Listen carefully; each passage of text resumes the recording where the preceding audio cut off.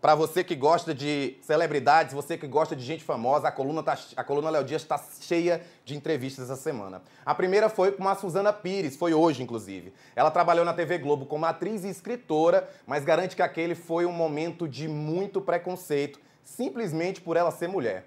Na conversa, a Suzana também falou com Léo Dias sobre o relacionamento conturbado que ela teve com o Marcos Pasquim e a amizade com Suzana Vieira. E chegou a contar que vendeu 20 bolsas Chanel para abrir seu instituto Dona de Si.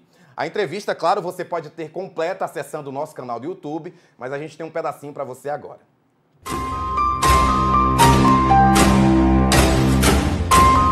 Você tá muito ativista, a gente não gosta disso.